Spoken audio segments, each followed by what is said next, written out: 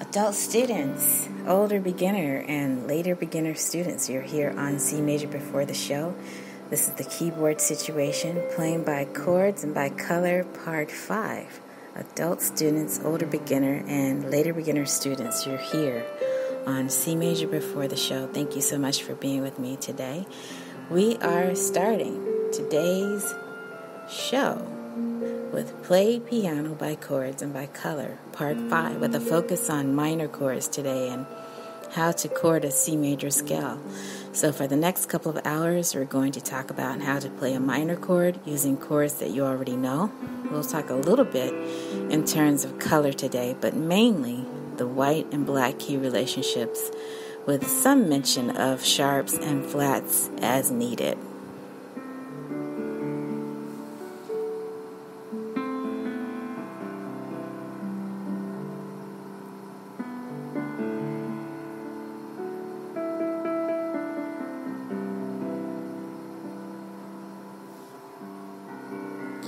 Ladies and gentlemen, I'll start off first with today's lesson talking about chords you already know.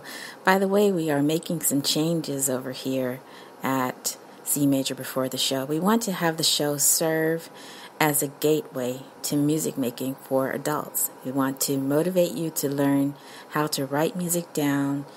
I'm not trying to teach you to play the piano or play a certain genre. I like to think of myself as an advocate of music literacy. So if you are at a piano and you look down at your hands, you should know where you are, what you're doing, where the music is going next, and how to write what you're doing on paper so that you can communicate with others in a clear way. That's it. It really doesn't get any simpler than that or any more complex than that here on this podcast. I'm excited about today. We are changing the format of each episode going forward in a way that I can describe what I'm going to talk about. Talk about it, talk about something else briefly, and then tell you what I talked about. Don't worry, we'll still do some shout outs somewhere in the middle, but the most important thing I want to focus on is if you're out there running, jogging, exercising, driving, commuting to work, listening just to have some background noise on, whatever the case may be, I'll be live with you here week after week. I've been busy spelling out chords for you in the past. Now I'm going to treat you even better this time because I feel that if you followed the podcast, you are now ready to talk in less baby terms. This is not a baby podcast. Find that A chord that we talked about. Find that E chord that we talked about. It's now time to make these and your other major chords minor.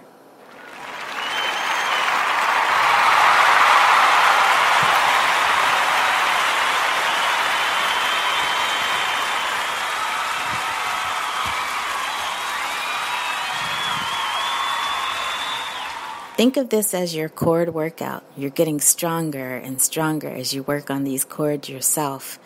For the colors, check out C Major Before the Show on Facebook. All of the chords are in my news feed over there. I'm sending you there because I want you to see it all for yourself. Let's warm up now by letter names only today. Give me a C chord. Spelled C E G.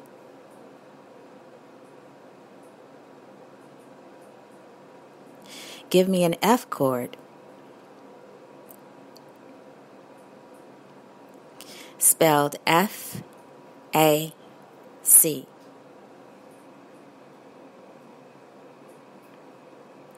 Give me a G chord. spelled G B D.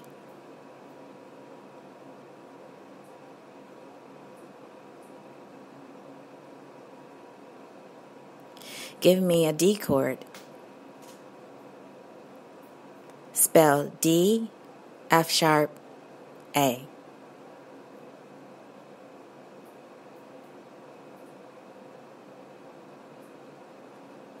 Give me an E chord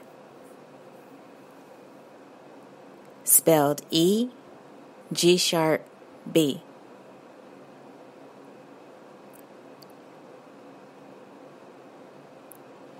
Give me an A chord spelled A C sharp E.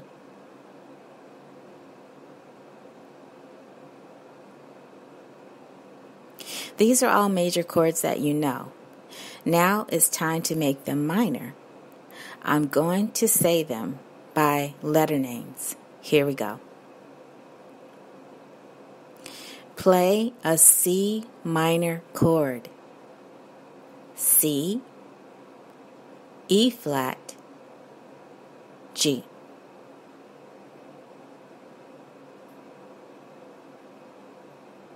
Play an F minor chord. F, A flat, C.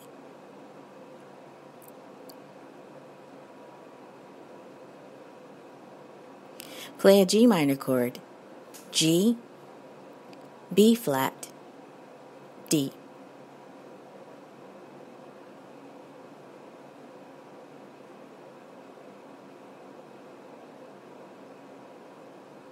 Play a D minor chord. D, F, A.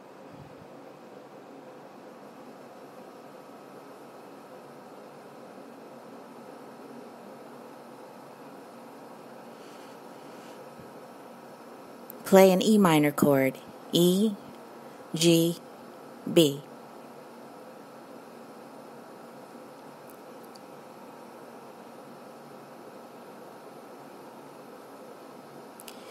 Play an A minor chord. A, C, E.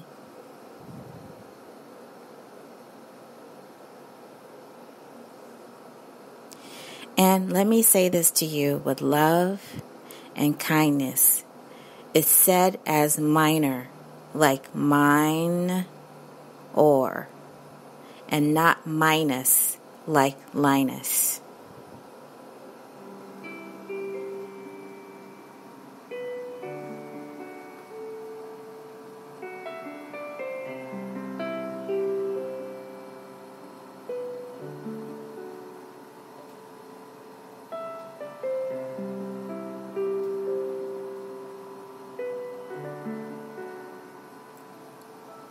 By the way, I'll post pictures with my hand model for you over at the C Major Before the Show page on Facebook. Now we can form a drill. I want you to begin every day that you practice with going over these chords in this order and prepare to spend five to six minutes a day on this drill. Please remember to go only as fast as you can. Listen to each chord. You can always challenge yourself by going faster. You may use any fingering that you wish.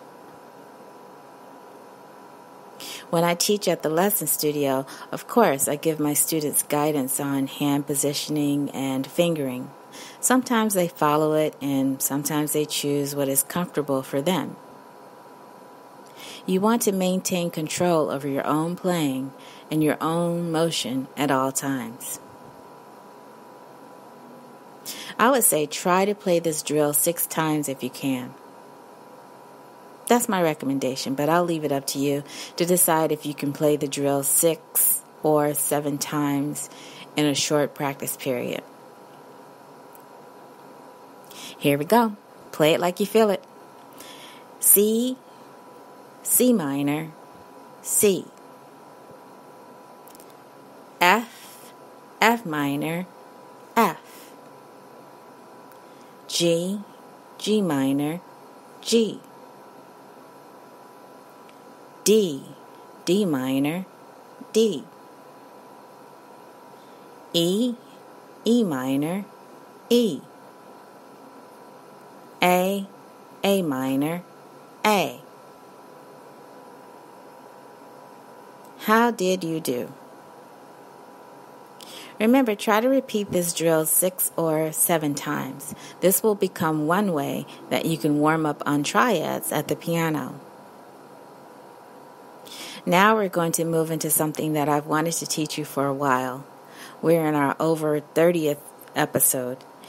This is the longest episode today, and it will get longer. Once September rolls around, we are looking to keep you here for three hours. The third hour will be spent helping you with your homework assignment. That will start up in September. Let's move on now into the C major scale played as chords. This should be fun. You'll play them all as white keys. You may play them with both hands or with your right hand or with your left hand alone. I'll spell out each triad. C E G. D F A. E G B. F A C. G B D. A C E B D F C E G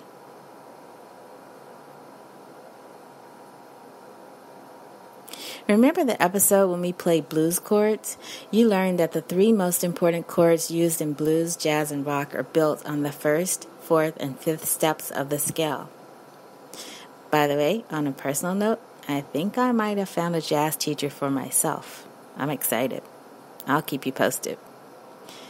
Chord symbols indicate a major chord unless otherwise noted. So if I call out C, F, G, that means to play a C major chord F major chord, and G major chord. We'll talk more about chords in the future. For now, I want to give you a couple of progressions to practice. A chord progression is an organized series of changing chords. Watch out for the ch ch ch ch changes. Ch ch changes. Here we go. Play it like you want to. A minor, A minor, G, G, F, F, E, E, A minor, A minor, G, G, F, E, A minor, A minor. How did you do? I want you to know that I will repeat this whole 30 minute segment again and again in today's episode. Do you remember that we spoke about comping in an earlier episode? Keyboard players usually comp when accompanying or backing up a solo instrumentalist or singer. It's common for professionals to play the chord symbols using notated rhythms, indicated with note heads, or to improvise the rhythms, notated with slashes.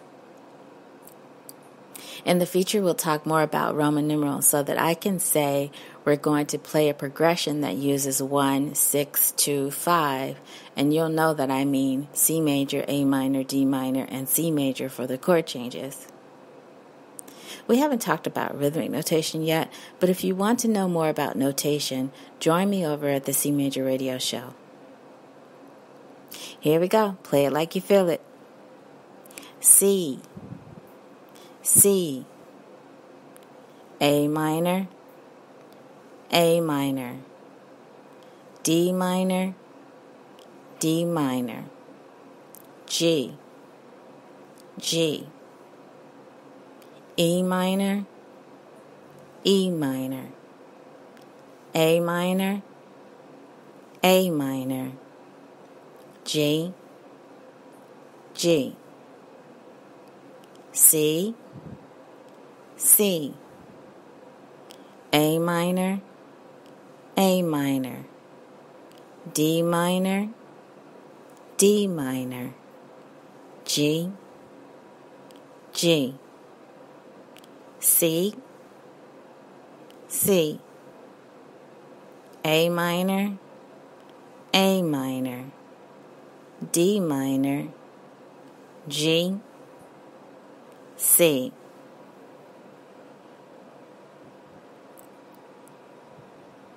How did you do? Fine, I hope. We're in a roll. Let's do one more progression. Try to play these chords with feeling and expression if you can. Here we go. Play it with feeling and expression. C, C, C, C, C, C, C, C. D minor, D minor, D minor, D minor. C, C, C, C. F, F, E minor, E minor. D minor, D minor. E minor, E minor. F, F minor, E minor, E minor.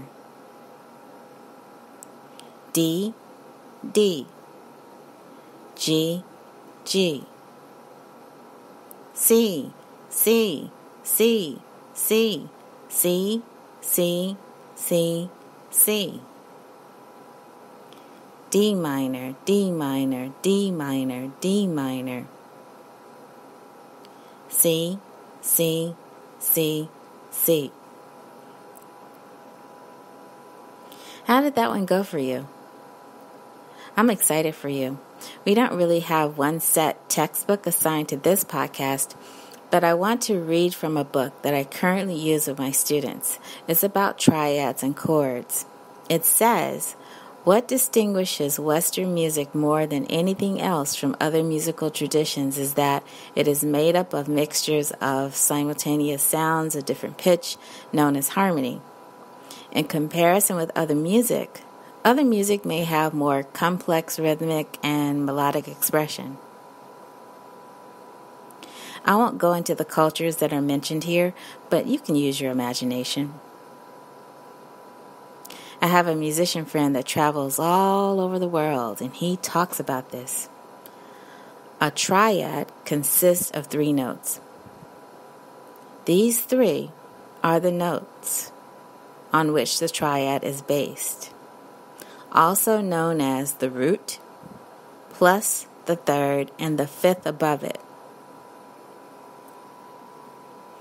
As we have seen today in the case of the C major scale, triads can be built on each degree of the major and minor scales.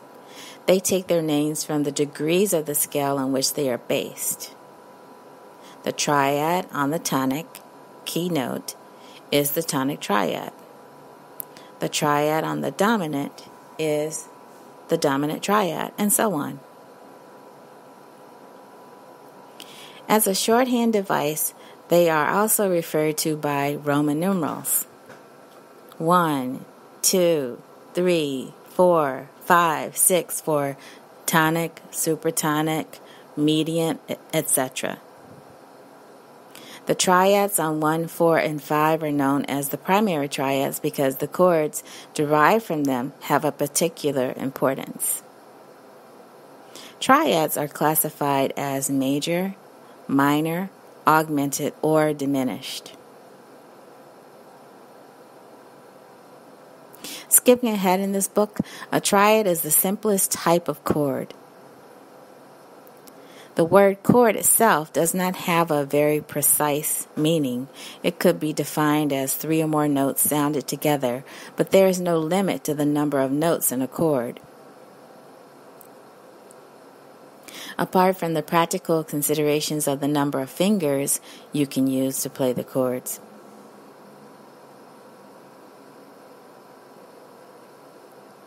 Over several centuries, Western music gradually evolved an elaborate system of chords and their relationship to each other. Chords are especially popular in popular music, as you'll see. What is important about chords is the way they lead to and away from each other. They are not isolated events. If this topic is interesting to you and you'd like to get into the language of chords, please feel free to contact me offline. I'll let you know where you can find this resource.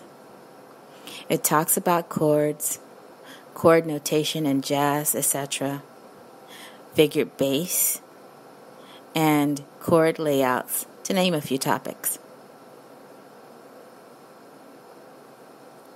Now, as we come to the end of this segment, I'd like to offer you some practical tips. These tips come from the book entitled Learning a Musical Instrument. If you have begun to take some lessons on the piano or if you've been playing the chords that we've discussed, it's time to explore some ideas to help you maintain your progress. It may at times feel like two steps forward and one step backwards.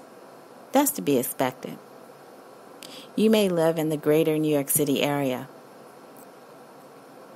I ran into an adult student over the weekend. He is studying a woodwind instrument for the first time. He sounded a little down. I tried to cheer him up by reminding him that he is multitasking. He's trying to master a number of new skills while balancing a job, a family, living in a busy area near the George Washington Bridge. He complained that his progress was slower than he wished it to be. I let him know that it's normal to feel this way. He looked so defeated. But I reminded him that he is making progress. Another adult student came to me with a similar concern. She's doing great in her lessons, but she felt really bummed out because she wants to play music that she hears on YouTube by her favorite artist. Her teacher is a classically trained teacher, so the teacher doesn't always know the songs that the student wishes to learn. I encouraged the student to hang in there and reminded her that it takes time to see the progress you wish to see. Many adults look forward to practicing a musical instrument because they are doing what they dreamed of doing. They are playing the music they really want to play. They know that practice is really the key to success. They have a sense of quote unquote me time when they practice, especially after a hard day of work. Practicing can relieve tension that builds up after a hard day at work. You may feel that your practice time is repetitive. You may feel isolated. You may feel that it is concentrated on the difficult parts only. Just remember that you are trying to self improve your playing over time. It's not going to happen all in one day. Finding the right time to practice can be a little tricky. I once had a customer when I worked in music retail who showed me his roll up keyboard that he took to work with him.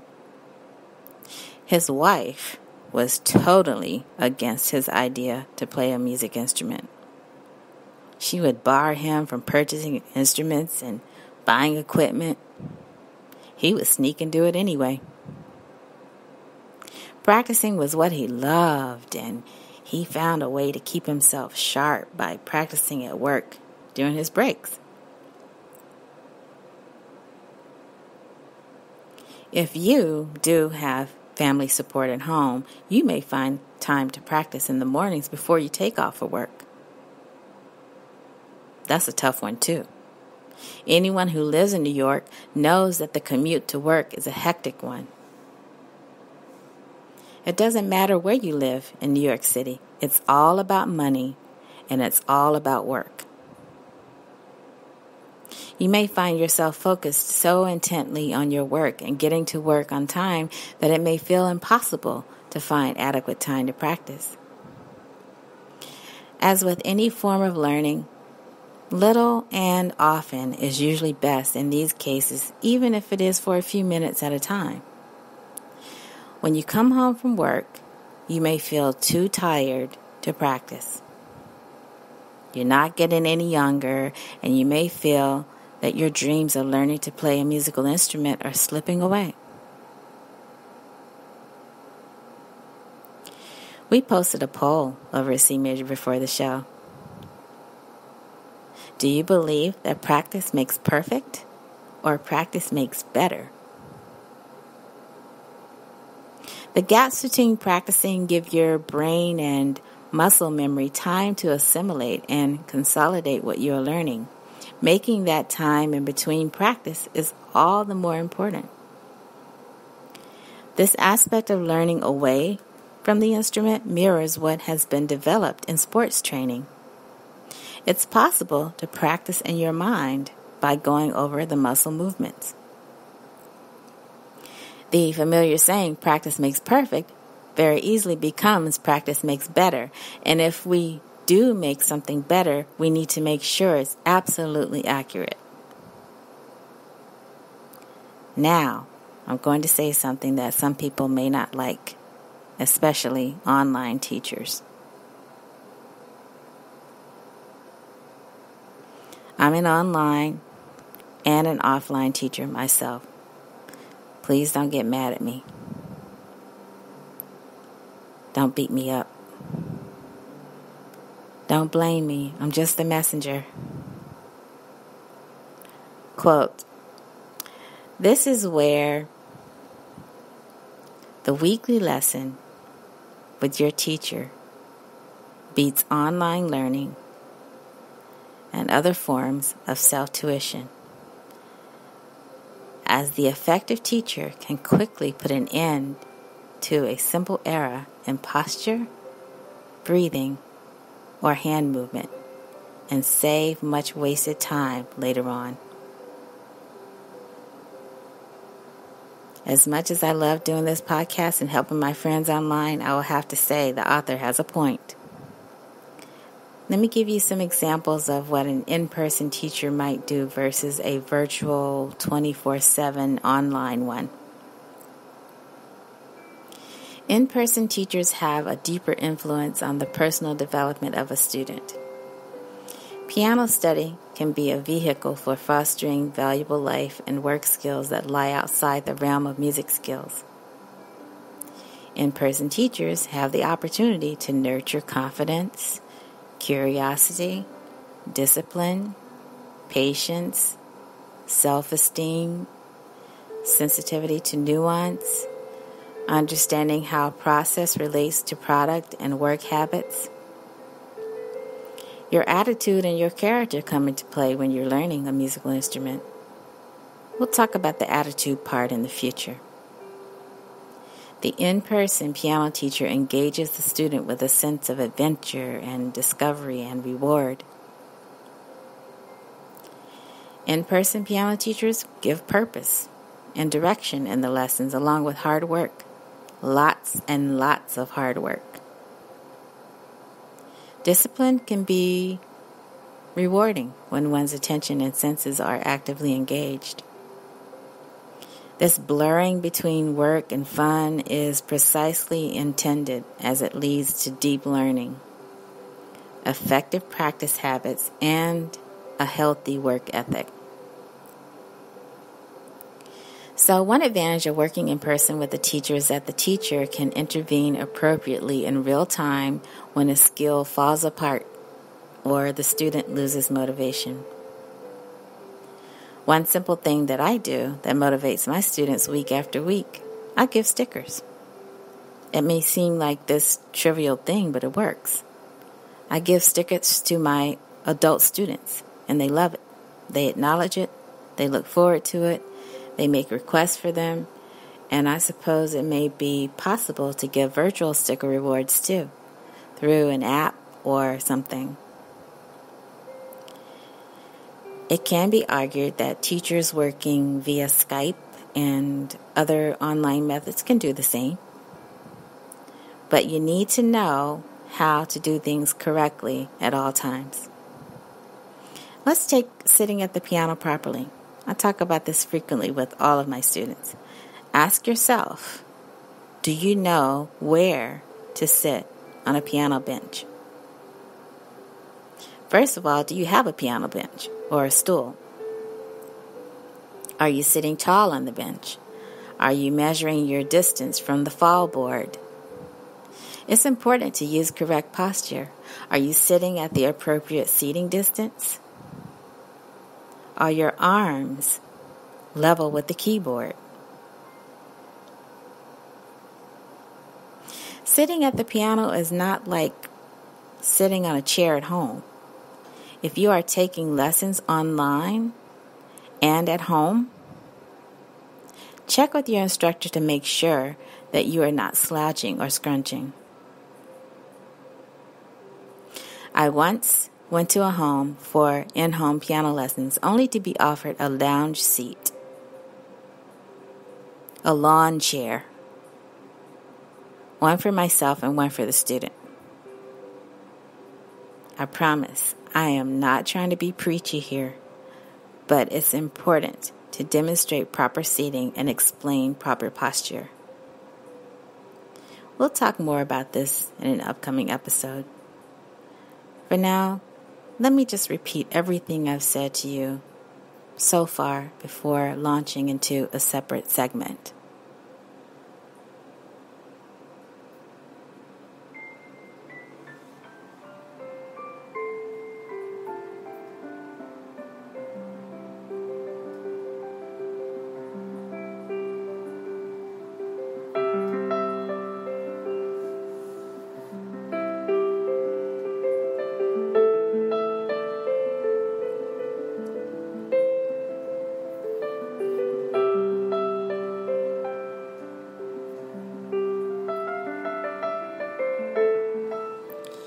Ladies and gentlemen, I'll continue in this next half with today's lesson, reiterated, talking about chords you already know.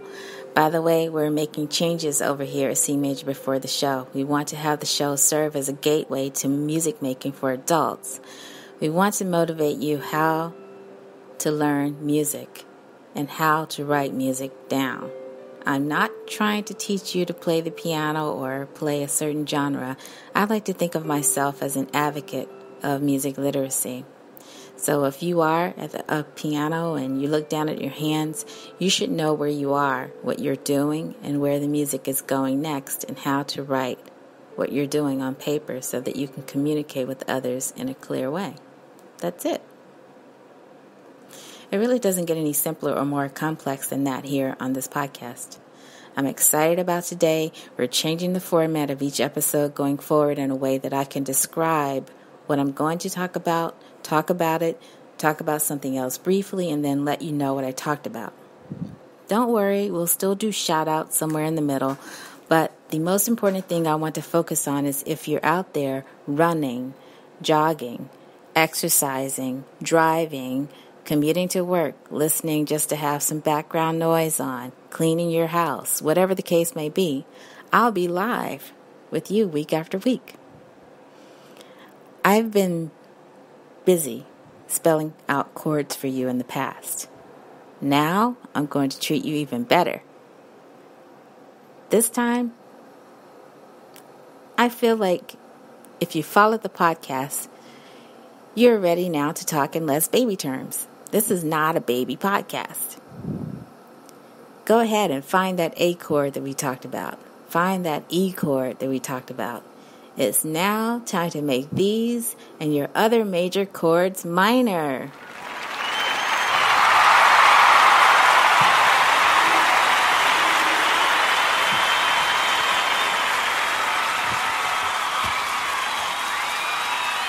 That's right. That's right. Think of this as your chord workout. You're getting stronger and stronger as you work on these chords yourself. For the colors, check out C Major Before the Show on Facebook. All the chords are in my news feed over there. I'm sending you there because I want you to see it all for yourself. Let's warm up by letter names only today. Give me a C chord. Spelled C E G.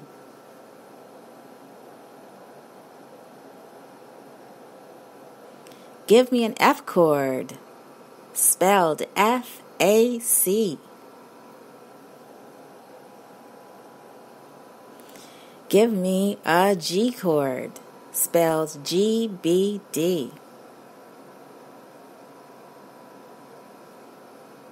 Give me a D chord, spelled D F sharp A.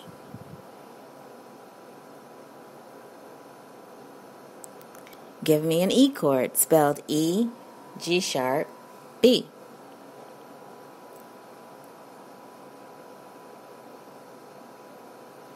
Give me an A chord spelled A, C sharp, E.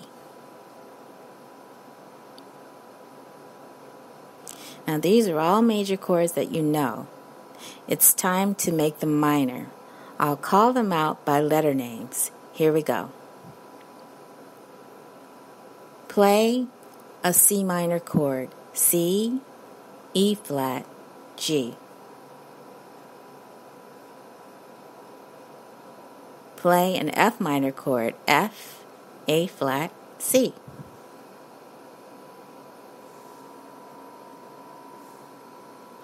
Play a G minor chord G, B flat, D.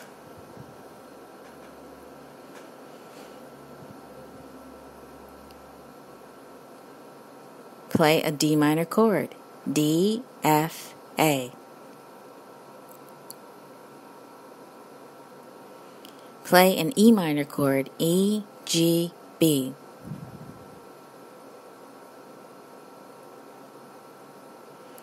Play an A minor chord A, C, E. And let me say this to you with love and kindness. It's said as minor, like minor, and not minus, like Linus. If you need a chord chart, please see me offline. I can steer you to one to pick up for yourself or order for yourself. That is, if you want my free advice. By the way, I have posted pictures with my hand model for you over at C Major before the show.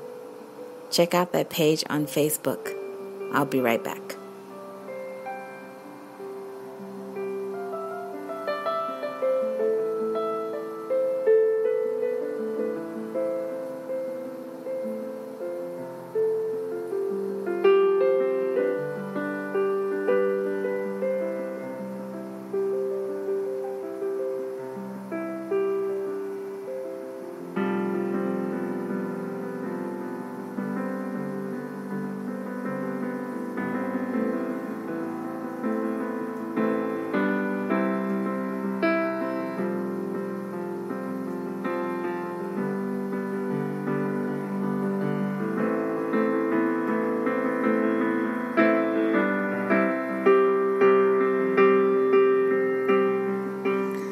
Okay, now we're going to form that drill. We did this in the first part of today's show, and here I am repeating it again because I really want you to get it. And I want you to begin every day that you practice with going over these chords in this order. So please prepare to spend five to six minutes a day on this drill. Please remember to go only as fast as you can. Listen to each chord you can always challenge yourself by going faster. You may use any fingering that you wish. When I teach at the lesson studio, of course, I give my students guidance on hand positioning and fingering. Sometimes they follow it, and sometimes they choose what is comfortable for them.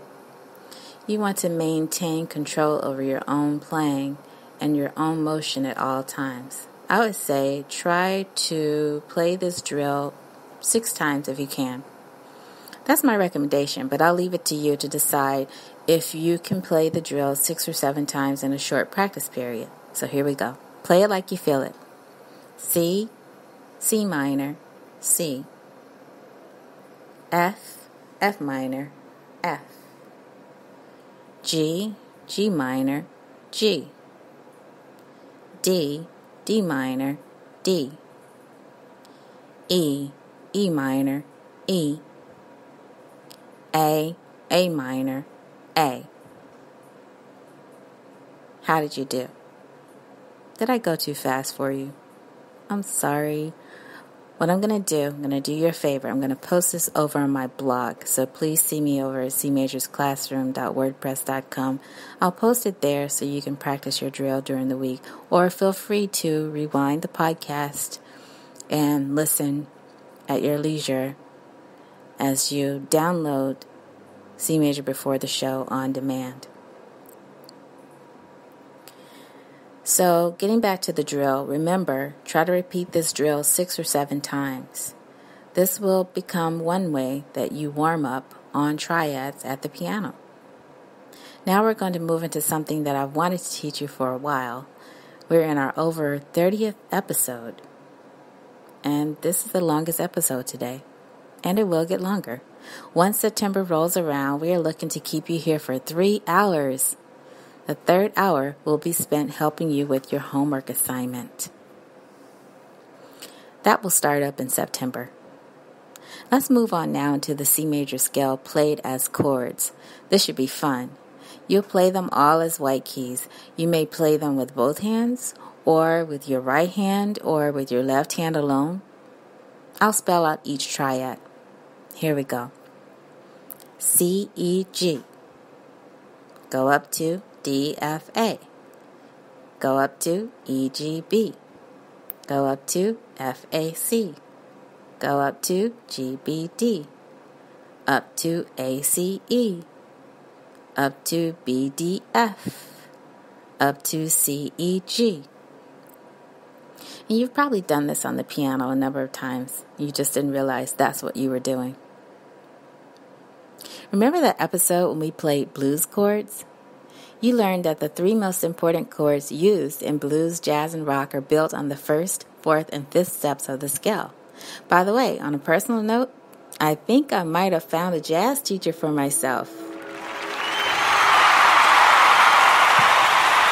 Thank you very much. I'm excited, and I will keep you all posted. It should be fun. I've been told over the years that I should know how to play some jazz and blues, even though I'm classically trained. And the interesting thing is, my teacher wants to learn to play classical, so we're going to do a friendly exchange. Chord symbols indicate a major chord unless otherwise noted. So if I call out C, F, and G, that means to play a C major chord, F major chord, and G major chord. We'll talk more about blues in the future. For now, I want to give you a couple of progressions to practice. A chord progression is an organized series of changing chords. Watch out for the ch ch ch ch, ch changes, ch ch changes. Here we go. Play it like you want to. A minor, A minor. G, G. F, F. E, E. A minor, A minor, G, G. F, E, A minor, A minor. How did you do? Remember that I will repeat this whole segment one last time in this episode. I realize that we live in a world of so many distractions. I just read something online this morning where another piano teacher was talking about that. She was saying how her students only have like 10 minutes in their attention span and how they're always on their mobile devices, and it's very difficult for her to get them to pay attention for 30 minutes. So she does a lot of praying and she does a lot of gentle talking to her students and just getting to the, understand the value of listening, listening for that still small voice. It's almost impossible to pay attention for any length of time because you're constantly being interrupted. A phone call, a text, an email alert, a news announcement, a meeting, a family thing. The list goes on. I get it. I live this style of life myself. There's always some noise around hardly ever a quiet moment. If you are unable to continue listening to me, just know that I'll come back near the end of the podcast and you can find your way and pick up where you left off. You'll recognize what I've said from the script, and there will be some variations here and there, but you'll hear me reiterate the point of today's episode. I hope this helps. Do you remember that we spoke about comping in an earlier episode? Keyboard players usually comp when accompanying or backing up a solo instrumentalist or singer. It's common for professionals to play the chord symbols using notated rhythms, indicated with note heads, or to improvise the rhythms notated using slashes. In the future, we'll talk more about Roman numerals so that I can say we're going to play a progression that uses 1, 6, 2, 5, and you'll know that I mean C major, A minor, D minor, and G major for the chord changes. We haven't talked about rhythmic notation yet, but if you want to know more about notation, just see me over at the C Major Radio Show.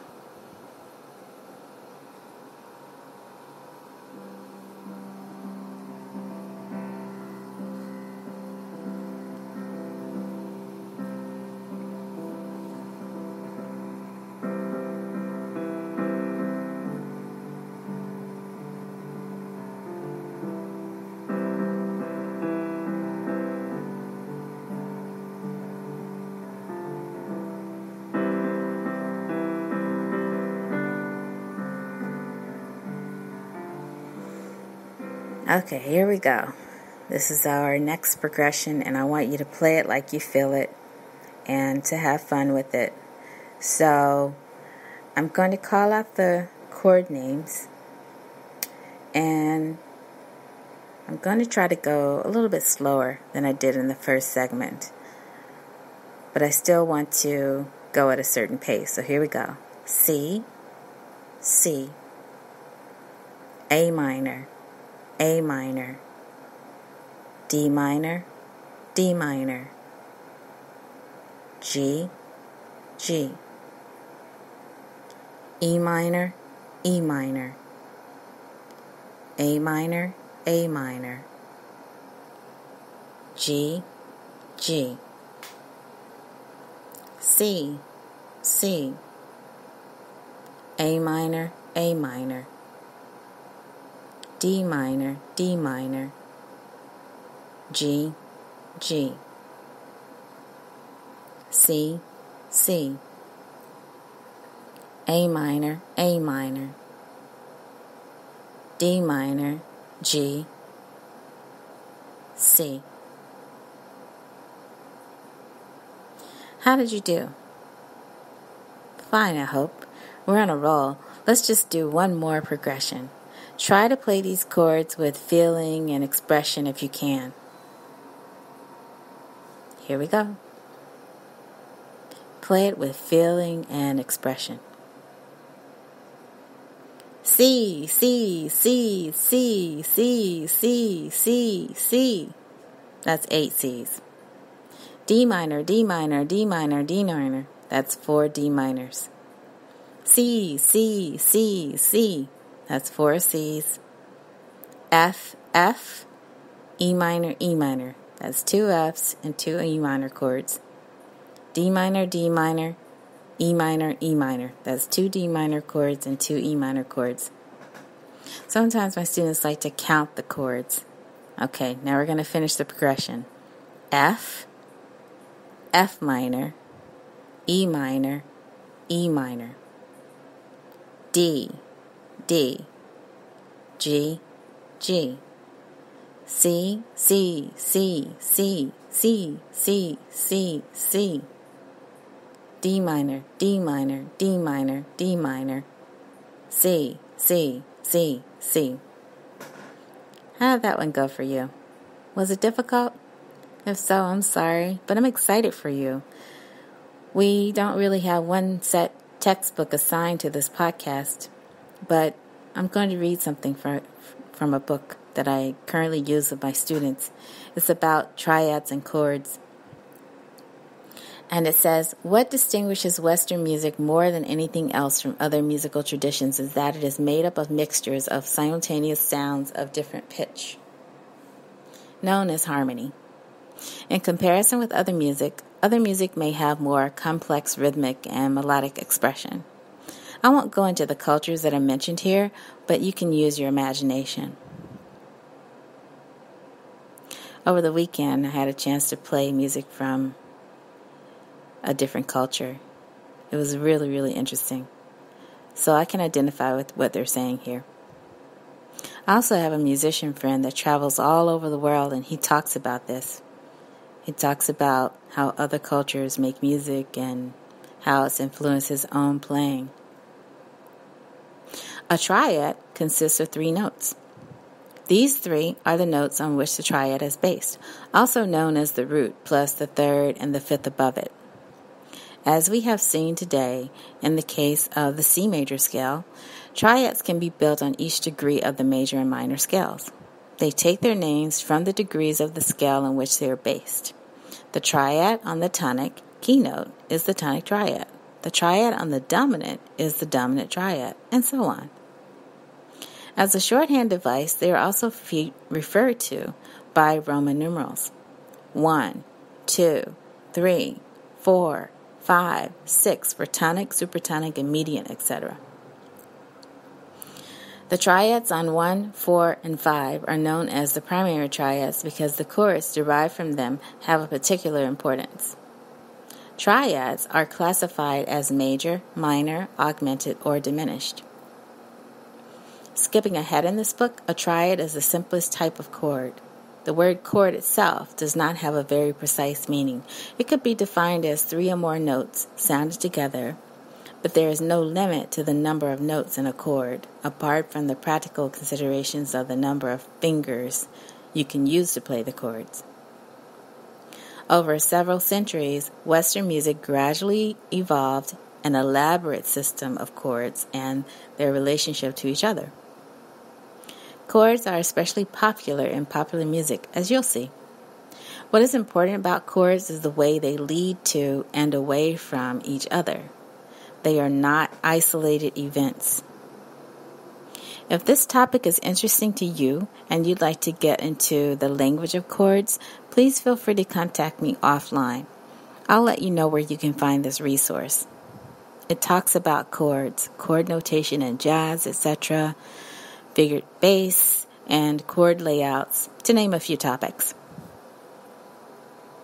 Now, as we come to the end of this segment, I'd like to offer you some practical tips. These tips come from the book entitled Learning a Musical Instrument.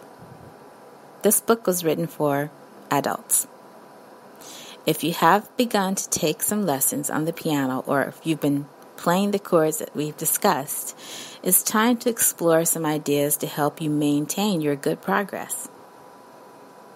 It may at times feel like two steps forward and one step backwards. That's to be expected. You may live in the greater New York City area. I ran into an adult student over the weekend. He is studying a woodwind instrument for the first time. For the first time, he sounded a little down. I tried to cheer him up by reminding him that he is multitasking. He's trying to master a number of new skills while balancing a job, a family, living in a busy area near the bridge. He complained that his progress was slower than he wished it to be. I let him know that it's normal to feel this way. He looked so defeated. But I reminded him that he is making progress. Another adult student came to me with a similar concern. She's doing great in her lessons, but she felt really bummed out because she wants to play the music that she hears on YouTube by her favorite artist. Her teacher is a classically trained teacher, so the teacher doesn't always know the pop and bop songs that the student wishes to learn. I encouraged the students to hang in there and reminded her that it takes time to see the progress you wish to see. Many adults look forward to practicing a musical instrument because they are doing what they dreamed of doing. They are playing the music they really want to play. They know that practice is really the key to success. They have a sense of me time when they practice, especially after a hard day of work. Practicing can relieve tension that builds up after a hard day at work. You may feel that your practice time is repetitive. You may feel isolated. You may feel that it is concentrated only on the difficult parts. Just remember that you are trying to self improve your playing over time. It's not going to happen all in one day. Finding the right time to practice can be a little tricky. I once had a customer when I worked in music retail. He was so passionate about playing the piano. He showed me his roll up keyboard that he took to work with him. His wife was totally against his idea to play a music instrument. She would bar him from purchasing instruments and buying equipment. He would sneak and do it anyway. Practicing was what he loved, and he found a way to keep himself sharp by practicing at work during his breaks. If you are lucky enough to have family support at home, you may find time to practice in the mornings before you take off for work. That's a tough one, too. Anyone who lives in New York knows that the commute to work is a hectic one. It doesn't matter where you live in New York, it's all about money and it's all about work. As with any form of learning, little and often is usually best in these cases, even if for a few minutes at a time. By the way, we posted a poll over at C Major before the show. Did you see it? The question is Do you believe that practice makes perfect or practice makes better? You see, the gaps between practicing give your brain and muscle memory time to assimilate and consolidate what you are learning, making that time between practice all the more important. This aspect of learning away from the instrument mirrors what has been developed in sports training. The old adage, practice makes perfect, very easily becomes practice makes permanent. And if we do something permanent, we need to be sure it's absolutely right. Now, I'm going to say something that some people may not like, especially online teachers. Don't blame me, I'm just a messenger. And the quote says, This is where the weekly lesson with your teacher beats online learning and other forms of self tuition. As the effective teacher in person can quickly put a simple error in posture, breathing, or hand movement right and save so much wasted time later on.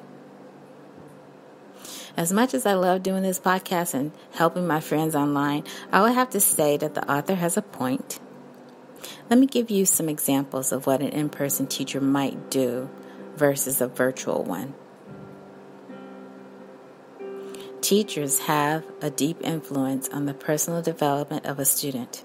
Piano study can be a vehicle for fostering valuable life and work skills that lie outside the realm of music skills. Teachers have the opportunity to nurture confidence, curiosity, discipline, patience, self esteem, sensitivity to nuance, understanding how process relates to product and work habits your attitude and your character come into play. We'll talk about the attitude part in a moment, but the in person piano teacher engages the student with a sense of adventure and discovery. In person, piano teachers give purpose and direction in the lessons, along with hard work, lots and lots of hard work. Discipline can be rewarding when one's attention and senses are actively engaged. This blurring between work and fun is precisely intended as it leads to deep learning, effective practice habits, and a healthy work ethic. So, one advantage of working in person with a teacher is that the teacher can intervene appropriately in real time when a skill falters or motivation flags. It can be argued that teachers working via Skype and online can do the same. But you need to know how to do things correctly at all times. Let's take sitting at the piano properly. I, I, talk about this frequently with my students. And then ask yourself if you know where to sit on a piano bench. Have you had that discussion with your teacher? First of all, do you have a piano bench or a stool? Are you sitting tall on the bench? Are you measuring your distance from the fall board? What's the fall board, you say? Ask your teacher. It's important to use correct posture. Are you sitting at the appropriate seating distance? Are your arms level with the keyboard? And let me tell you that sitting at the piano is not like sitting on a chair at home. You're not sitting in your comfy chair like you're sitting at home when you play the piano.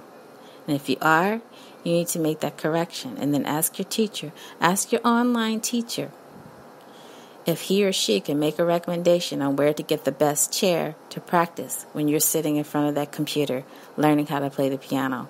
When you're learning to play the piano, self teaching yourself at home, what should you be sitting on? What's the height you should be sitting at? Should your arms be level with your keyboard? Things like that you need to know so you don't run into any problems with your posture, run into any problems with your back, run into any pain. You should not have any discomfort at all when you're learning to play the piano. Talk to your music professional. At the very least, get yourself to a retail store, talk with a retail professional, and ask their opinion on what they can order for you or for you on the retail floor so that you are comfortable when you're taking lessons online and at home. Check with your instructor to make sure that you are not slouching or scrunching. You know, I once went to a home for in home piano lessons only to be offered a lounge seat, like the one they sit on at the beach, and a lawn chair, like the one you sit on when you're sitting outside on the porch. One was for myself and one was for the student. And I promise you, I'm not trying to be preachy here, but it's important. It's important to demonstrate proper seating and explain proper posture. We'll talk about this a little bit more in an upcoming episode. And we'll also talk about the attitude part. I said we would talk about that in a moment, but basically, it's just good to have a good attitude when you're learning to play a musical instrument and not give up and have the type of teacher who will encourage you and keep it positive. So, for now, let me just let you know that I've spent time repeating everything I've said to you so far before going into this next part. And I'm also going to talk to you a little bit more about what's coming up in the next episode here on C Major Before the Show. Please check our Facebook page for the posting of the pictures of chords and hand placement.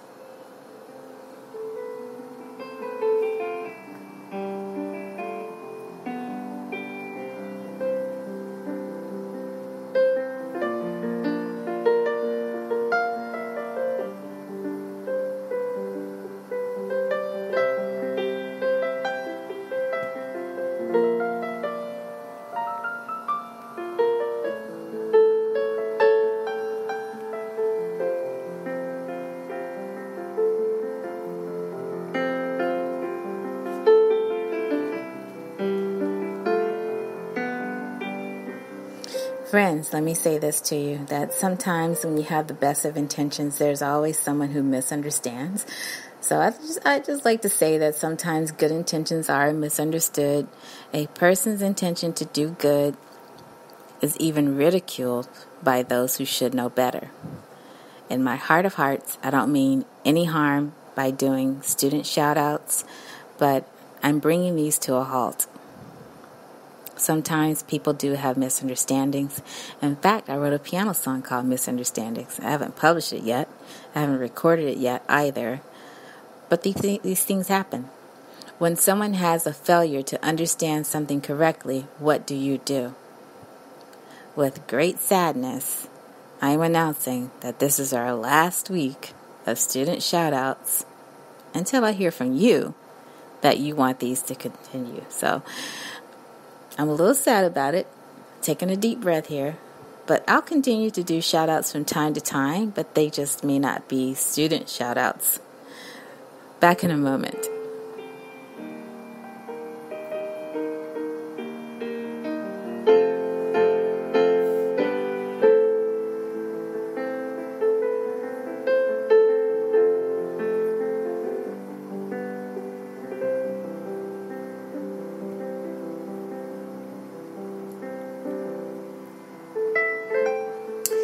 It is the end of August. I can't believe it's the end of August. PSL season is here. I will feature some pumpkin theme effects to go along with the fall and the leaf rakers out there. So, pumpkin spice is back this week. Today, as a matter of fact,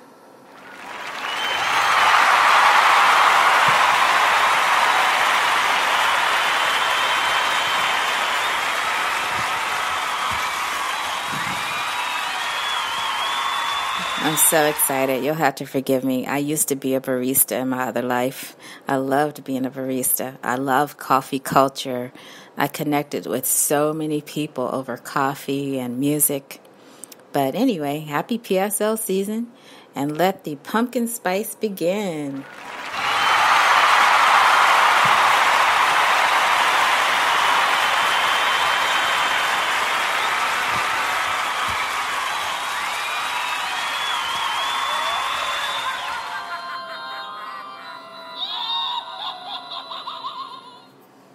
So that's some of my Halloween effects that you'll be hearing here on the show.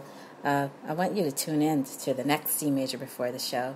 C major's classroom episode, we're going to talk more about chords and I'm going to show you how to play more major chords, including D flat, E flat, A flat, G flat, B flat, and B. That's next time.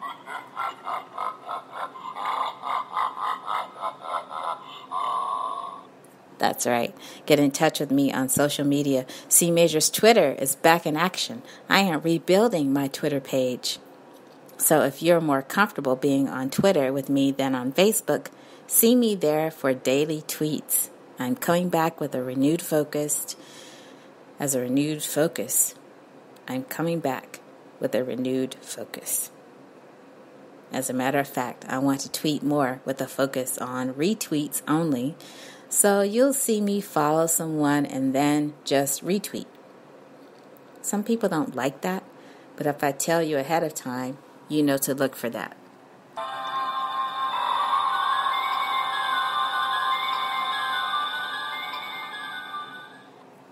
When people study music, they learn much more than simply how to sing or play an instrument. Most of us can't become professional musicians as adults, but the time spent on music adds up to much more than just a hobby. Musicians gain a number of soft skills that are helpful in any type of career. As opposed to hard skills, which consist of specific knowledge and skills needed for a given job, soft skills are equally important abilities that allow you to interact well with others and complete work successfully, and they're in high demand. Having soft skills makes you more competitive in the job market and increases your chances of success in any position, even if you're self employed. Whether you end up in a music related career or not, you will be more prepared to tackle future employment challenges by having these soft skills learned through music. I'm not sure who I'm talking to today on this podcast. But I'll keep my fingers crossed that you have these soft skills. And I will knock on wood that you begin to locate a music teacher today so that you can, you can begin to work on them. So, making music not only makes you smarter, as the claim goes for young students, studying music as an adult also makes you a valued worker. You may have many other skills, but without confidence, it's difficult to apply them to the best of your ability. The pride and sense of accomplishment that come from learning how to play an instrument, mastering a piece of music, and performing it successfully builds a music student's confidence. It also teaches them how to feel that they have achieved something through steady work. Overcoming any trepidation about performing in front of others is another boon in the professional world. Whether you're feeling nervous about a job interview or meeting or having stage fright about giving a presentation in front of a group of people, gaining experience with this as a young person can help you produce a confident and capable adult. And if you're an adult already, do you want to learn skills that will help you in your career? Consider taking music lessons today to build your confidence.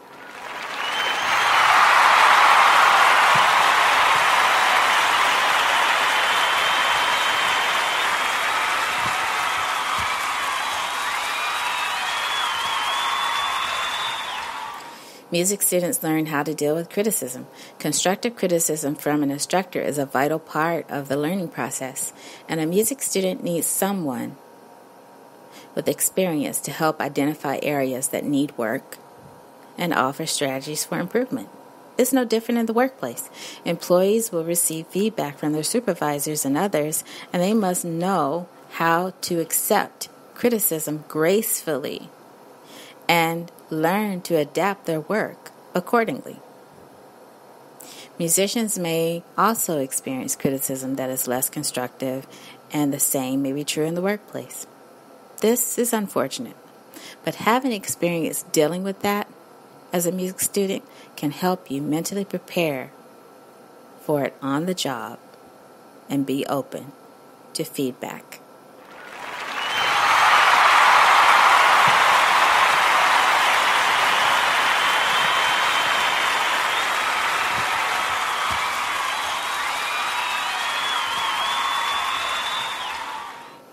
The ability to collaborate well with your team and other colleagues is a critical skill in the business world. People have different personalities and work styles, but they almost work together. Musical ensembles of any size must function as a team, overcoming personal differences to produce good work. Cultivating a sense of responsibility towards your team helps you feel more determined to overcome differences and carry your own part for the team as a whole through teamwork.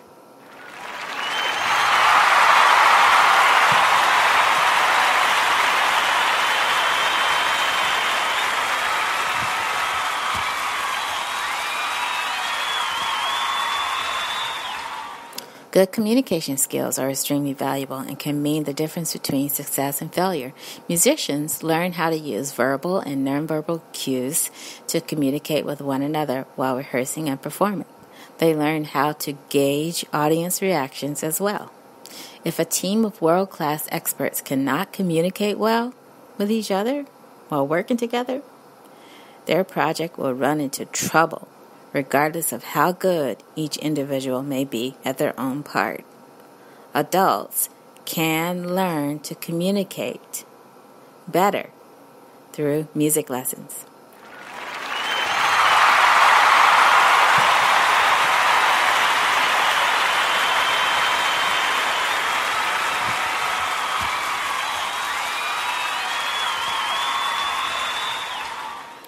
Musicians must often memorize pieces of music they plan to perform in concert, and memorization is a great mental exercise as it requires repetition and concentration. Attention to detail is an important aspect of learning a piece of music as well, since you must learn which notes to play, how long, how loudly, and so on. Concentration skills are also necessary, especially when playing with other musicians or in front of an audience. You must be able to focus on your own part in the middle of an orchestra or choir, while still paying attention to the conductor and the performance of the group as a whole. This skill comes in handy throughout your life. Anytime you need to absorb important information or work in a place where other people are also working or talking. In a world today where everyone is distracted by their mobile devices, music lessons can help you with memory and concentration.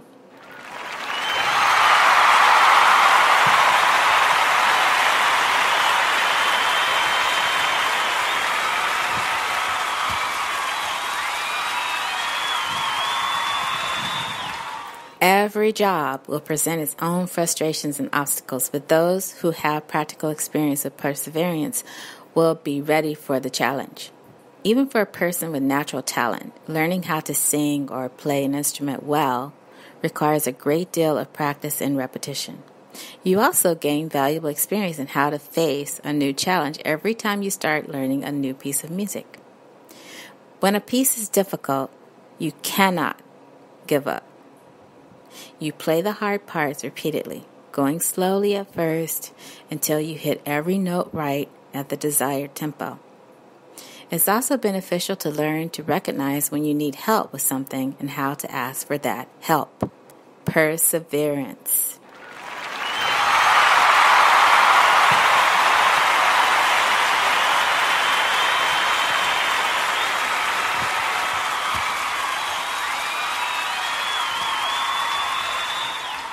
The ability to accept change and go with the flow is a very attractive quality in an employee.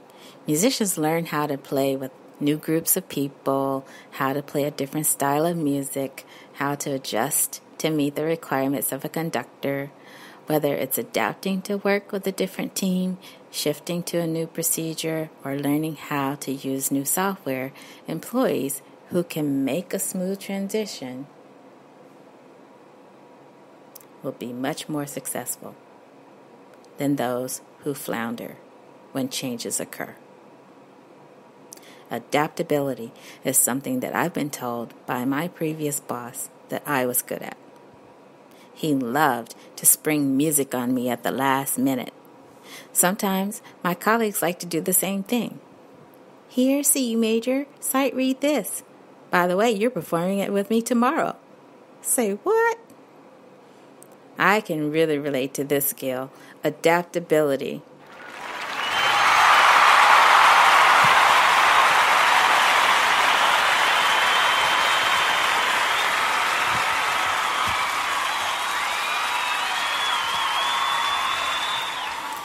The last soft skill is self discipline and responsibility. Self discipline is a crucial skill in any profession. Employers and clients naturally appreciate punctuality and time management skills because they are necessary. Necessary to plan one's schedule and complete work on time. Musicians must learn how to meet the goals of a lesson on schedule and make adequate time to practice. It also requires organization and personal responsibility because getting to a concert on time doesn't mean much if you haven't practiced adequately or forgot to bring your instrument, your sheet music, or other necessary items.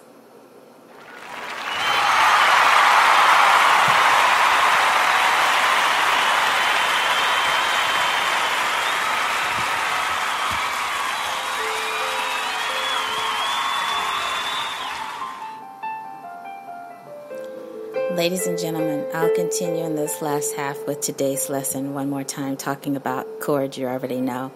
By the way, we are making changes over here at C Major before the show.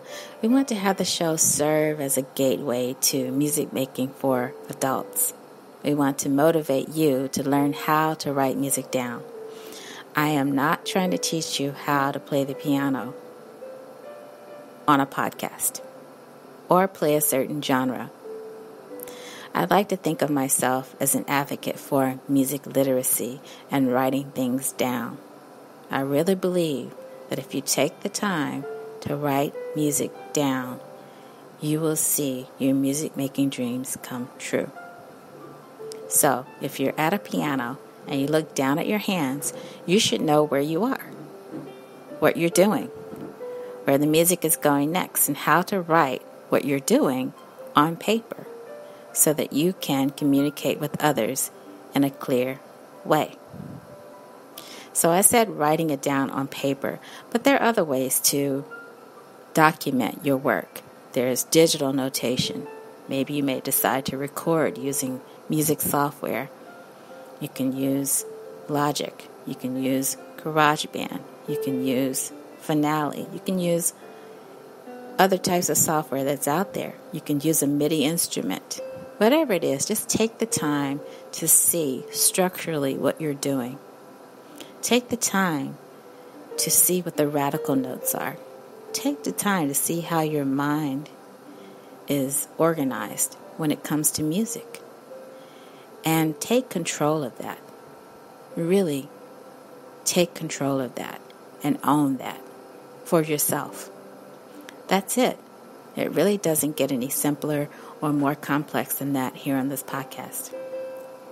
I'm so excited about today because we're changing the format of each episode going forward in a way that I can describe what I'm going to talk about, talk about it, talk about something else briefly that will drive home the point of getting into music making as an adult, and then tell you what I talked about. Don't worry, we'll still do shout outs somewhere in the middle but the most important thing I want to focus on is if you're out there doing work around the house, running, jogging, exercising, driving, commuting to work, listening just to have some background noise on, whatever the case may be, I'll be live with you week after week. I've been busy spelling out chords for you in the past.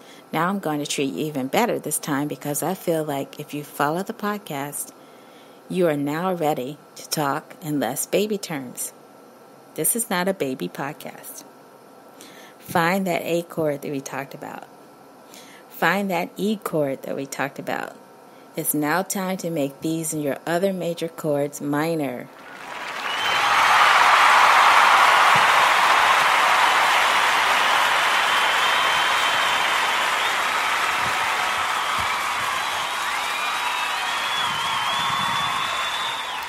Think of this as your chord workout.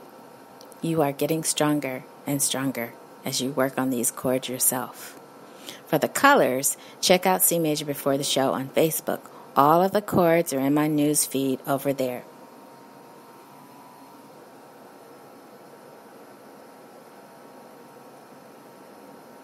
I'm sending you there because I want you to see it for yourself. Let's warm up by letter names only today give me a C chord, I'm going to spell it for you. It's spelled C E G.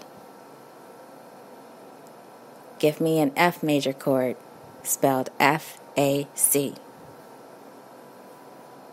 Give me a G major chord, spelled G B D. Next, give me a D chord, spelled D F sharp A. Give me an E chord, spelled E, G sharp B. Give me an A chord, spelled A, C sharp E. These are all major chords that you know. Now it's time to make them minor. By letter names, here we go. Play a C minor chord. Letter names are C, E flat, G. play an F minor chord. Letter names are F, A flat, C.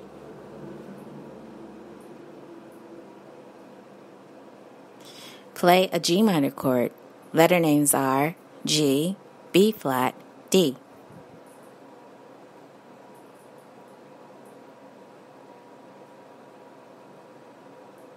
Play a D minor chord. Letter names are D, F, A.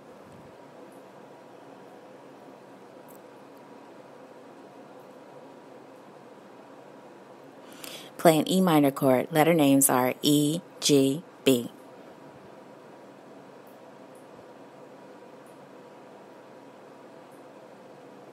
Play an A minor chord, A, C, E. And let me say this to you with love and kindness. It's said as minor, like mine or, and not minus, like Linus. By the way, I've posted some pictures with my hand model for you over at C Major Before the Show. Just look for our page on Facebook and you'll find it there. If you have any questions, feel free to send me a message. There are ways to contact me if you just take a look and feel free. Now we can form a drill. I want you to begin every day that you practice with going over these chords in this order. Prepare to spend five to six minutes a day on this drill, and please remember to go only as fast as you can. Listen to each chord. You can always challenge yourself by going faster. You may use any fingering that you wish.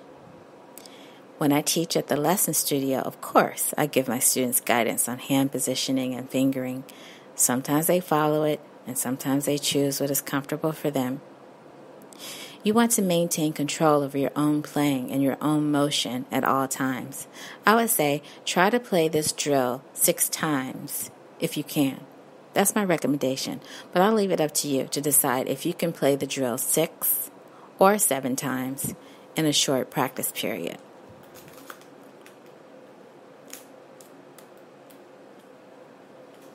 And just to give you a heads up, in future episodes in September, what we'll start to do is have that third hour of homework I'm going to spend the third hour helping you with your homework assign- assignment. That means really breaking it down so that you don't miss anything. We'll talk about black and white key relationships. We'll talk about fingering. We'll talk about hand placement. I'll talk about the pictures that were posted. Just really giving you the baby steps. Not that you're a baby, but just giving you the baby steps in the homework assignment the same way a tutor would do. Just fine tooth combing everything so you don't miss anything. And you feel totally comfortable. You feel totally confident. But for now, I'm just going to call out the drill and have you follow it with me. So here we go. Play it like you feel it. It's C, C minor, C. F, F minor, F. G, G minor, G. D, D minor, D. E, E minor, E. A, A minor, A. How did you do? Remember, try to repeat this drill six or seven times. This will become one way that you can warm up on triads at the piano. Now we're going to move into something that I've wanted to teach you for a while. We're in over our 30th episode here on Spreaker. And this is the longest episode today. And it will get a little longer. Once September rolls around, we are looking to keep you here for three hours. The third hour will be spent helping you with your homework assignment. That will start up in September. Let's move on now into the C major scale played as chords. This should be fun. You'll play them all as white keys. You may play them with both hands or with your right hand or with your left hand alone. I'll spell out each triad for you. C E G D F A E G B F A C G B D A C E B D F and C E G. And I know some of you are wondering as you listen to this podcast, C major, why don't you just play the piano so we can hear you play it? Because I want you to play it. I don't want you to focus on my playing. That's what you do when you come to my show or my class. But it gets a little distracting. I've noticed that as I've watched teachers teaching online that sometimes people in the comments they're paying attention to how the piano sounds if it doesn't sound good enough, things like that, how it looks. So I really want to just call it out and have you do it, have you try it, and then have you communicate with me on how it's going. Because it's no different than if you went to the store and you got one of those self teaching books, and the book is telling you how to play everything. Unless there's a video link to the lesson, you're reading in this case, you're listening to me describe it, and then you'll try to see how you do it on your own and see if you're successful. And then, if you need further help, then you can come to see a music teacher in person, and hopefully, you'll come to see me. Remember the episode when we played blues chords? You learned that the three most important chords used in blues, jazz, and rock are built on the first, fourth, and fifth steps of the scale. By the way, on a personal note, I think I might have found a jazz teacher for myself. Yes, C major takes lessons too. I consider myself to be a student and a teacher, and I have great adult students who challenge me all the time to grow with them and to get better and to be more into the music that they're into and things of that nature. So it feels like a real exchange. And I would say that some of the best teachers are the ones that learn from their students. That it does feel like an exchange. I'm excited. I'm excited because this teacher that I ran into wants to learn from me. So she was trained at a conservatory for jazz, and then she wants to learn what I've learned about playing classical music. So I've said that my teachers were from Juilliard and Columbia, and they taught me everything that they learned. But I'm excited. I'm going to keep you posted. Chord symbols indicate a major chord unless otherwise noted. So if I call out C, F, G, that means to play a C major chord, F major chord, and G major chord. We'll talk more about blues in the future. For now, I want to give you a couple of progressions to practice. A chord progression is an organized series of changing chords. Watch out for the changes. Watch out for the changes. So here we go. Play it like you want to. A minor, A minor, G, G, F, F, E, E, A minor, A minor, G, G, F, E, A minor, A minor.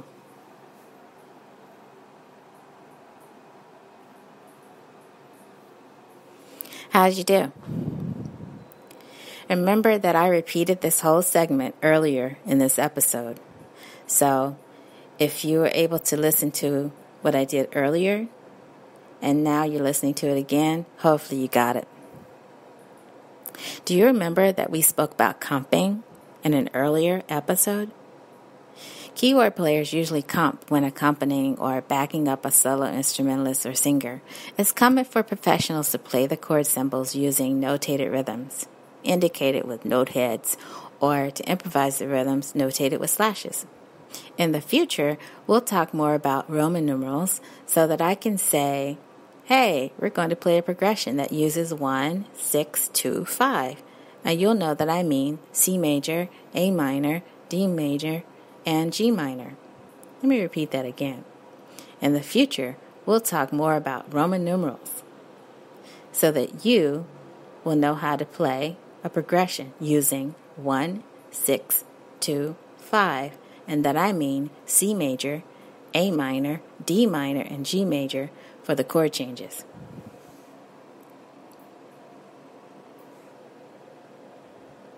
We haven't talked about rhythmic notation yet, but if you want to know more about notation, join me over at the C Major Radio Show.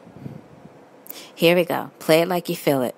C, C, a minor, A minor, D minor, D minor, G, G, E minor, E minor, A minor, A minor, G, G, C, C, A minor, A minor, D minor, D minor, G, G, C, C.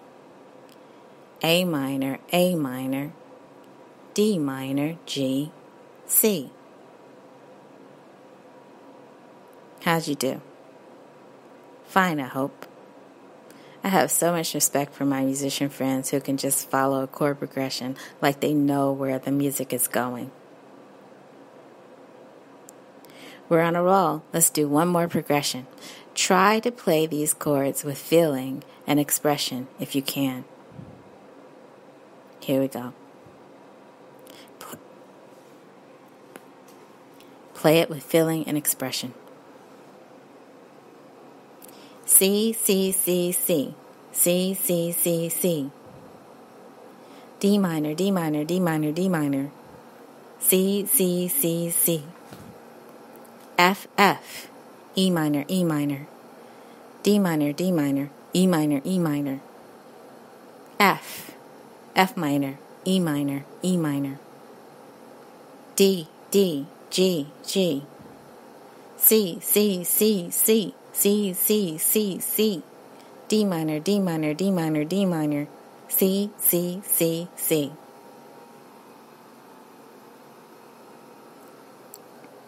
How did that one go for you? Hopefully it went well. Give me one moment. I'll be right back.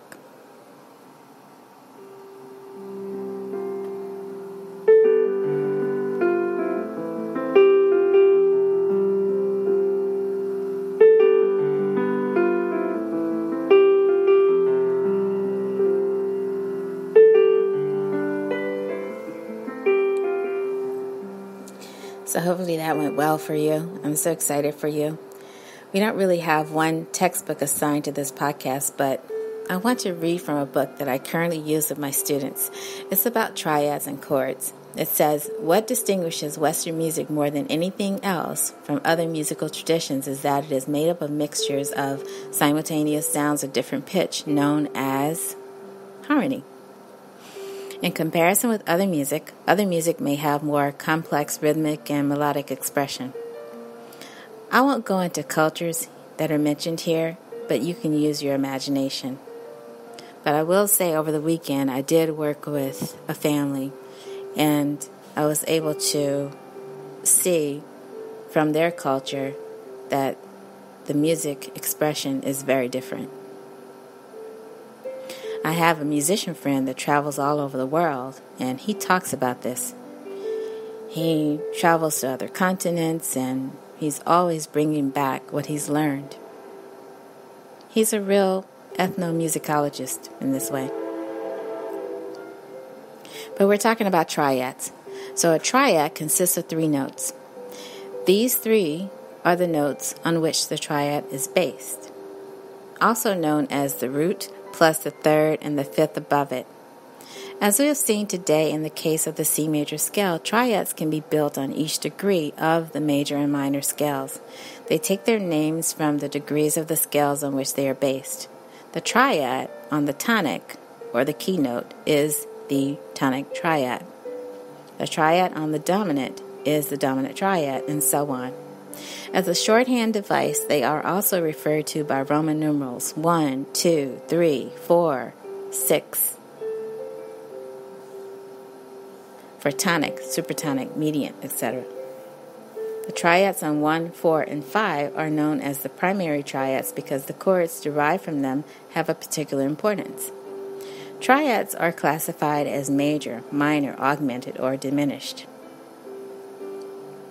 And so, as I was reading from this book, I skipped ahead because it talks more about triads. And it says a triad is the simplest type of chord. The word chord itself does not have a very precise meaning.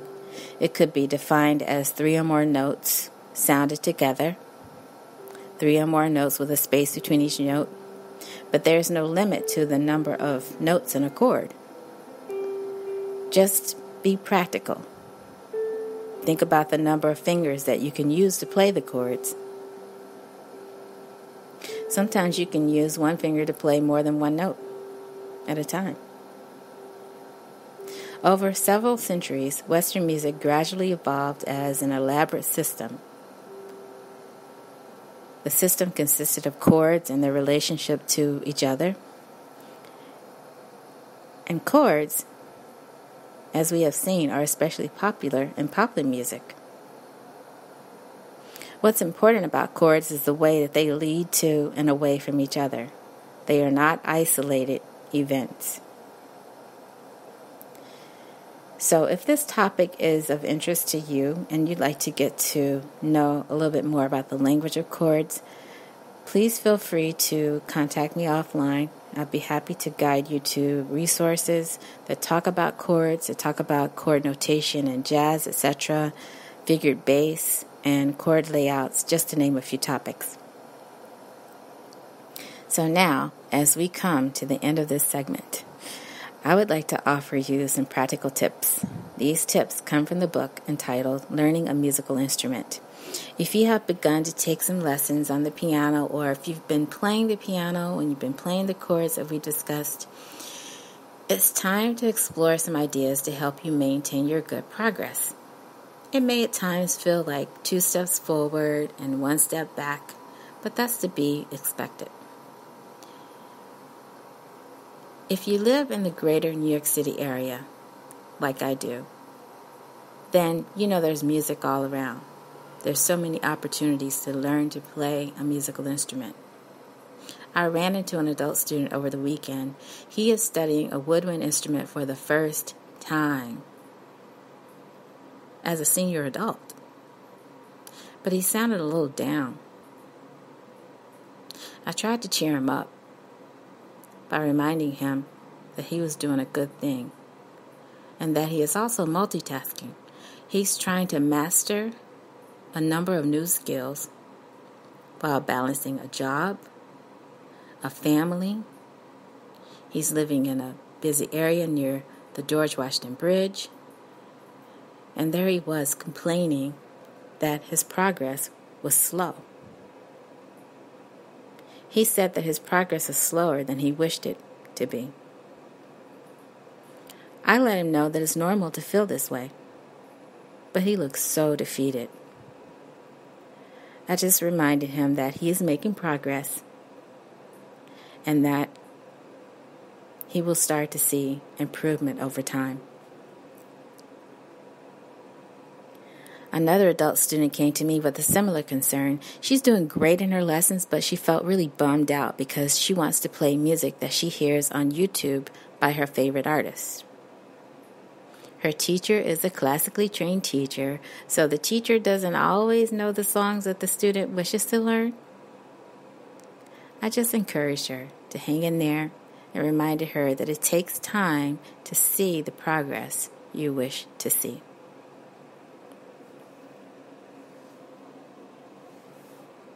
The fact is this that many adults look forward to practicing a musical instrument because they are doing what they dreamed of doing. They are playing the music they really want to play, and they know that practice is really the key to success.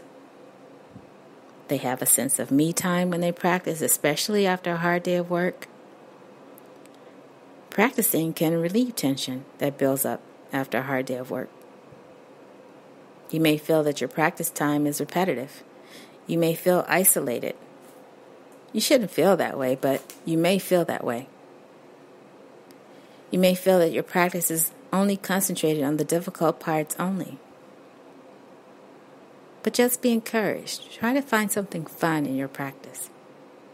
Just remember that practice is all about self improvement. Just remember that you're trying to self improve your playing over time. It's not going to happen all in one day. Finding the right time to practice can be a little tricky. I once had a customer when I worked in music retail who showed me his roll up piano that he took to work with him. He didn't have the most supportive family for his music making, unfortunately for him. His wife was totally against his idea to play a music instrument in the first place. She would bar him from purchasing instruments and he would have to sneak and buy equipment. He would just sneak and do it anyway. That's how much he loved to play. Practicing was what he loved, and he found a way to help himself stay sharp by practicing at work during his breaks.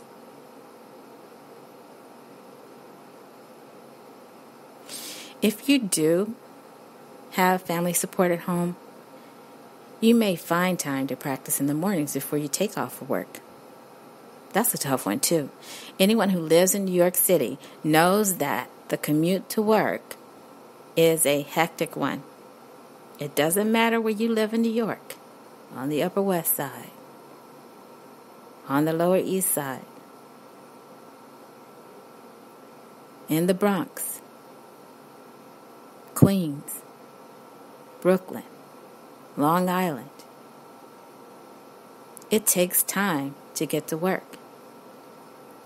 And you have to make a living in New York because it's all about money and it's all about work. But if you happen to be learning to play a musical instrument, as with any form of learning, little and often is usually best in these cases for practicing because even if it's for a few minutes at a time, you'll start to see progress over time. We posted a poll over at C Major before the show, and the question was Do you believe that practice makes perfect or practice makes better? The gaps between practicing give your brain and muscle memory time to assimilate and consolidate what you're learning, making that time in between practices all the more important. This aspect of learning away from the instrument mirrors what has been developed in sports training. The old adage, practice makes perfect, very easily becomes practice makes permanent. And if you do make something permanent, we need to be sure it's absolutely right. Now I'm going to say something that some people may not like, especially online teachers. Don't blame me. I'm just the messenger. I'm just the messenger. But if you're taking weekly lessons, if you happen to be taking weekly lessons with your teacher,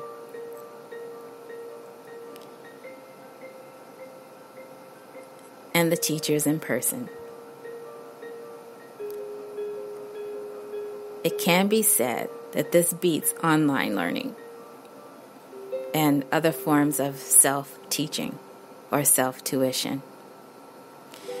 Because the idea is that an effective teacher can quickly put a simple error in posture, breathing, or hand movement. They can set it right and they can save so much wasted time later on. And I know this from experience. So, what I'm going to recommend, just so I can stay friends with everyone, is to do both. I think we live in a time now where you can mix. I think the idea of online learning and learning to play the piano at home is a good idea because it gives you that me time that you're looking for. Rather than driving to somebody's studio or waiting for someone to come to you, you can just, with the click of a mouse, go online and start learning instantly. So I think that's a good thing. I think that we all have to stay friends because we have the same goal in mind, and that is to see people learn to play the piano, something they've always wanted to learn, to see everyone study a musical instrument and really enjoy it and play the songs they wish to learn, in addition to songs they want to feel challenged to learn. So I love doing this podcast. I want to stay doing this podcast. I want to stay helping my friends online. I want to stay friends with all the other teachers out there.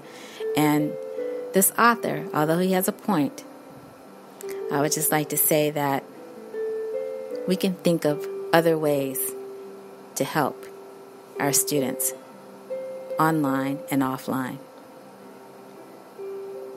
Teachers have a deep influence on the personal development of a student. So, when you're studying the piano, this can be a valuable life skill. It can be a skill that helps you when you're trying to build confidence. It can be a skill for curious minds. A teacher can nurture that. A teacher can show you how to stay disciplined, how to stay patient. You can join an online community where everybody's encouraging each other on social media.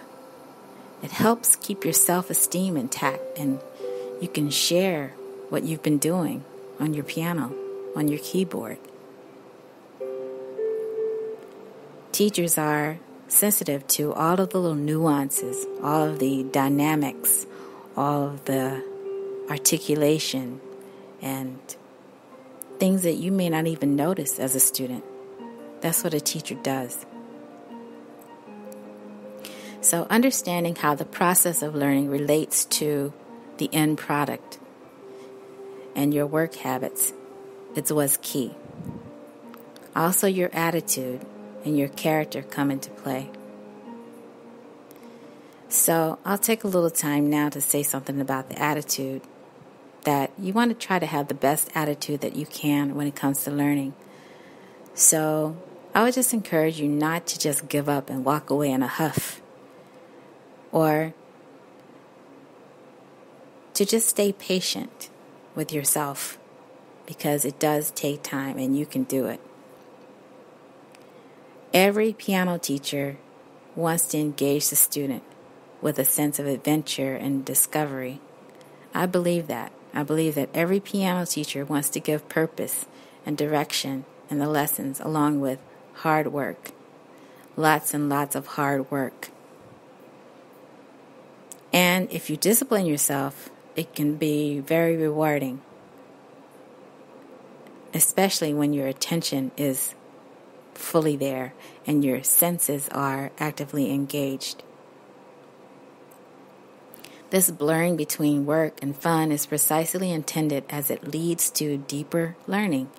It leads to effective practice habits and it leads to a healthy work ethic at the piano, for instance.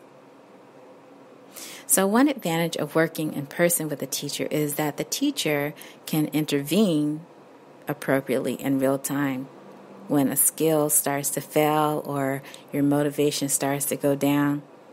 But I bet if you contact your online teacher, they can help you too. It can be argued that teachers working via Skype and other online methods can do just the same because you really need to know how to do things correctly at all times.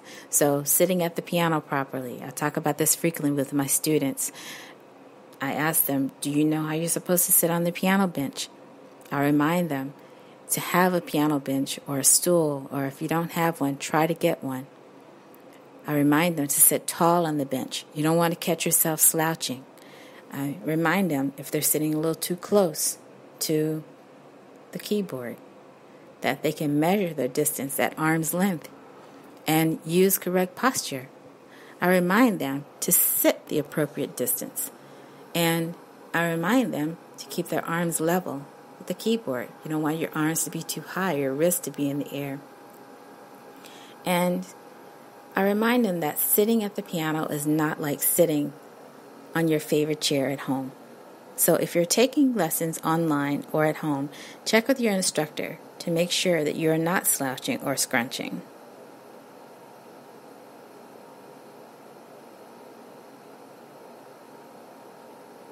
When I went to a home for in home piano lessons, they offered me what they thought was their best seat. And I'm sure they had good intentions, but they offered me a lounge seat. They offered me a lawn chair one for myself and one for the student, like the one you sit on at the beach. And I promise I'm not trying to be preachy here, but I think it's so important to have proper seating. And I think it's important for the teacher to demonstrate proper seating and, it, and to explain proper posture. We'll talk more about that in our upcoming episode. I want you to join me next week for a new set of chords. And I want you to stay listening because in the future, we might offer you free practice chords. And I'm going to offer those practice chords on free practice cards. And in a future episode, I may even pray for someone who is having trouble in their piano lessons. Believe it or not, my students have asked me to pray for them when they know they're in trouble. So I may say a little prayer live right here on the podcast. I believe that prayer is a powerful thing, and I know that my students appreciate that someone is agreeing with them in prayer.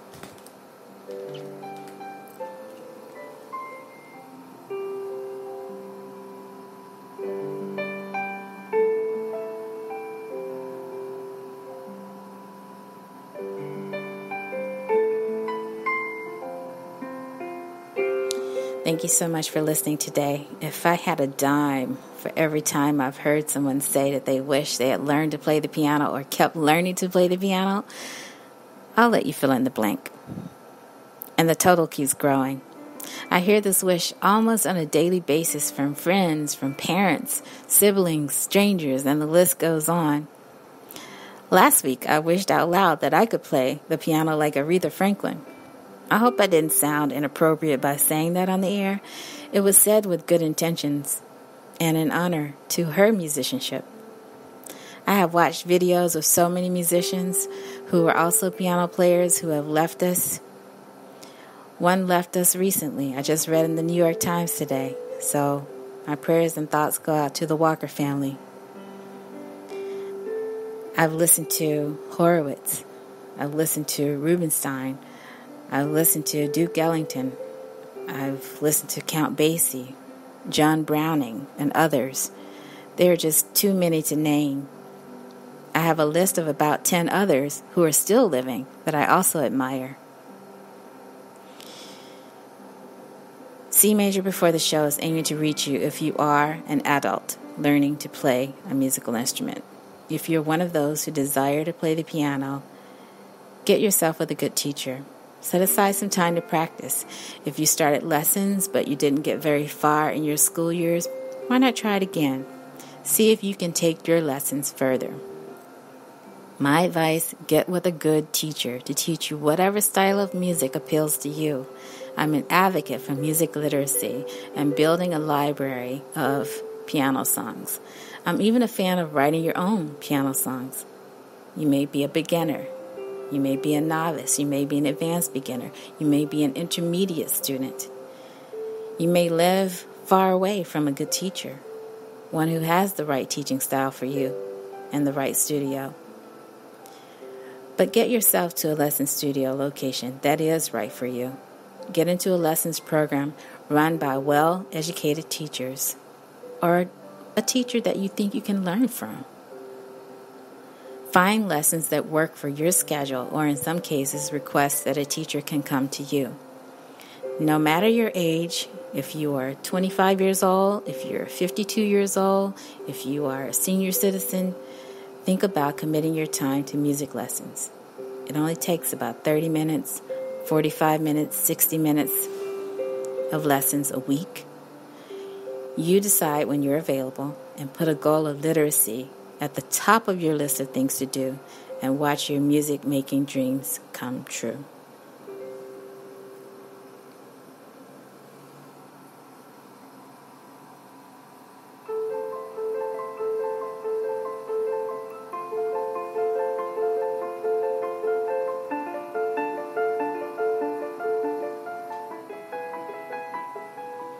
I just want to say thank you so much for being with me today. I really enjoyed being with you, and I hope you had some fun. I hope that you learned a little bit more about ways of seeing how to play the piano. And I don't claim to have a gift of communication, I really don't. I'll let you decide that for yourself. But I want to connect with you. I want you to give me a rating. Give me a rating, a comment on iTunes. Send me a tweet at C Major Porter 1. I'll be live again next week. Thank you for listening.